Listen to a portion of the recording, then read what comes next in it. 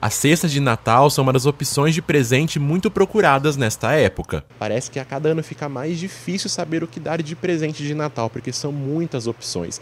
E para você que está em casa, na correria, tem aquele amigo oculto, quer presentear quem você ama, nós temos algumas opções para te mostrar. Olha, tem para todos os gostos e o mais importante, para todos os bolsos. Aqui são os kits que eu falei, que são os kits do panetone e um vinho frisante. Aqui são outros modelos de kit.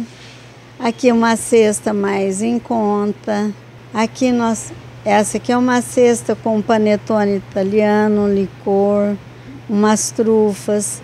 Essa aqui é uma cesta que nós fizemos num baú. O fim do ano traz um movimento maior em quase todos os setores do comércio. Nesta loja, especializada em produtos gastronômicos, o período representa um aumento de 20% nas vendas. Panetones, as champanhes, vinhos, pão de mel, torrones, as frutas natalinas são os que mais têm procura. E se engana quem pensa que apenas os panetones e frutas têm espaço garantido nas cestas. Nós temos as cervejas, tem nacionais e importadas, os vinhos, cachaça, tem uma variedade enorme de cachaça.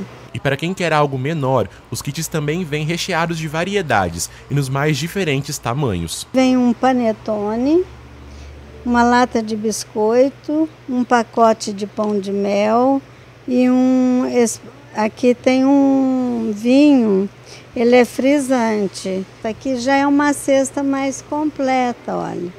Tem os chocolates, tem o vinho, os biscoitos, as frutas natalinas, torradas, patês. E com tantas opções assim, não tem desculpa para não presentear. Os mais em conta que é uma um vinho frisante, um panetone argentino, na faixa de 33, o mais em conta. E aí, se quiser incrementar, não quiser colocar numa cesta, fazer o kit, a gente também faz. Aí escolhe os produtos aqui na loja e a gente monta o kit.